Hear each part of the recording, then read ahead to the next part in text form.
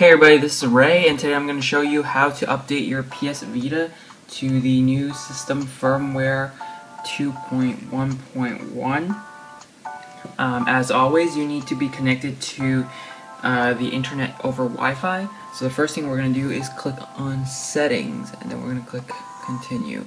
Okay, so it should bring you up over here, and you're going to click on System Update, and update using Wi-Fi. As you can see, version 2.1.1 is now available, and it will close applications in use to continue. So what's in uh, System uh, Software 2.1.1?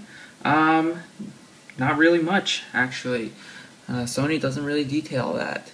Um, presumably, it will be including, uh, you know, stability fixes and uh, that type of thing inside the uh, new update. So we'll just let it uh, do its thing.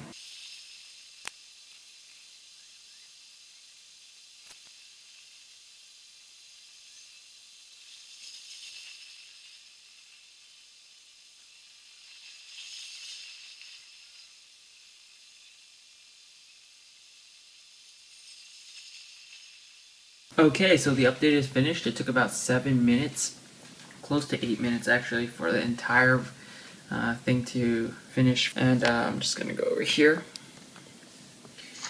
and I'm gonna get this, and to show you that I am on System Software 2.1.1, I'm gonna go over here into Settings, and we're gonna go down to the System okay and we're going to click system information. Before we do that I'm going to get my handy card because there is some uh, IMEI information that I don't want shown and we'll click on system information.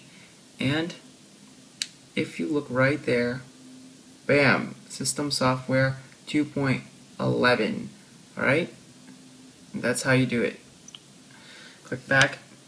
Anyway if you like this video add to your favorites and give it a thumbs up. Share it to Facebook and Twitter and uh, help me out by subscribing. Alright, I will see you guys in the next video. Thanks for watching.